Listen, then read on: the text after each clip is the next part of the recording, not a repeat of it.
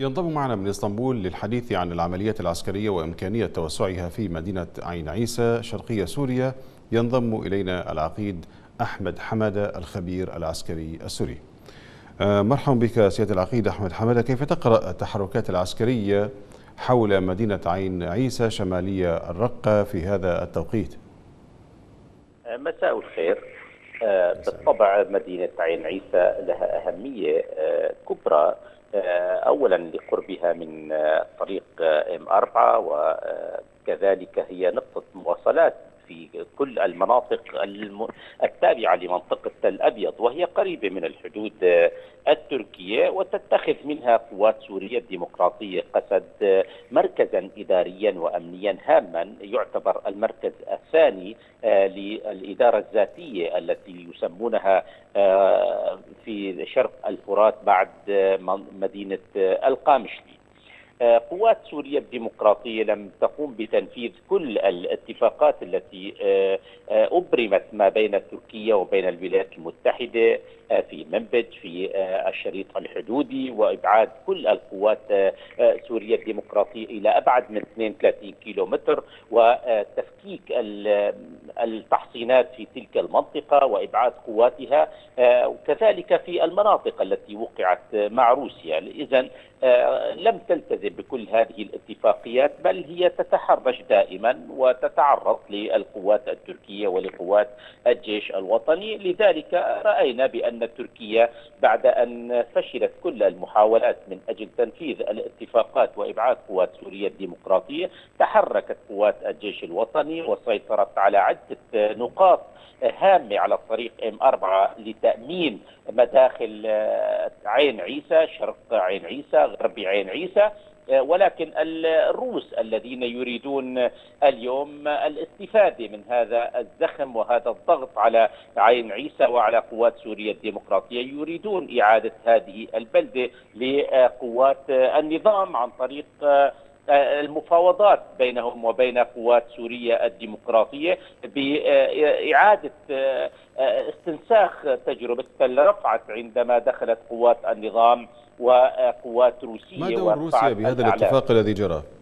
نعم ما هو دور روسيا بهذا الاتفاق الذي جرى؟ يعني آه، البعض يرى آه، أن تلجأ ربما قوات قسد لتسليم المدينة للنظام السوري آه، ببساطة يعني مدى نعم. اتفاقكم مع ذلك بالنظر أيضا إلى الدور الروسي يعني الولايات المتحدة سحبت قواتها من هذه المنطقة ولم تعد مهتمة في منطقة عين عيسى وهذه المناطق واكتفت في مناطق النفط ومناطق دير الزور. أما روسيا فهي تحاول أن تضع قوات سوريا الديمقراطية بين حلين.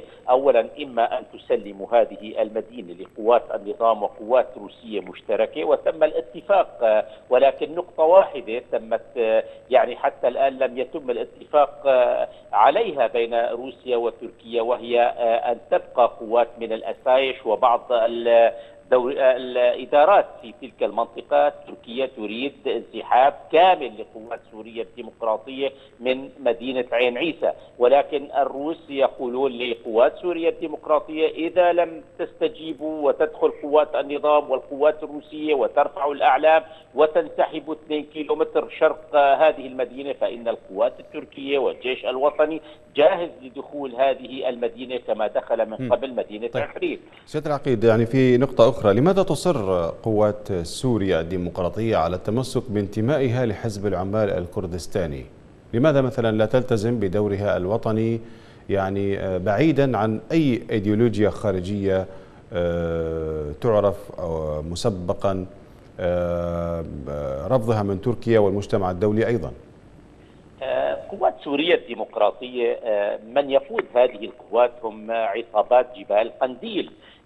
وعصابات جبال قنديل معروف لديهم إيديولوجية معينة كردستان الكبرى وروج اوفا يتم آه، يعني الحديث عن روج اوفا ويرفعون صور وأعلام آه، عبد الله أوجلان والبي كي كي ويعتبرون بأن المناطق السورية هذه المنطقة في هذه المناطق هي غرب كردستان. اذا هم لديهم عدة تسميات غرب كردستان وشرق كردستان وشمال وجنوب كردستان. هذه ال ال أربع أقسام في إيران وفي العراق وفي تركيا وفي سوريا يشكلان كردستان الكبرى.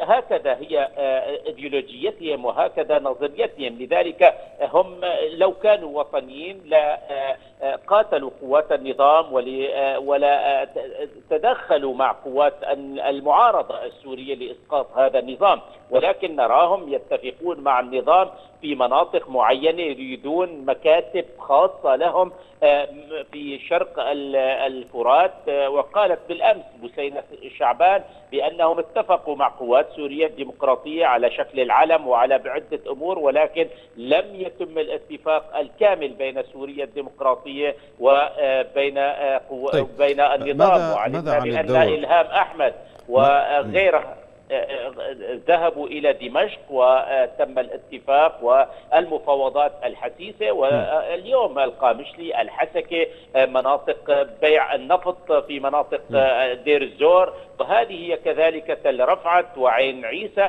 نموذج من التعاون ما بين قوات النظام وقوات سوريا الديمقراطية. اذا أستاذ أحمد كيف تصف يعني التعاطي الأمريكي مع قوات سوريا الديمقراطية البعض يرى أن الدور الأمريكي الذي كان داعما لقوات سوريا الديمقراطية يراه الآن قد انكفأ فجأة كيف تصف هذا الدور؟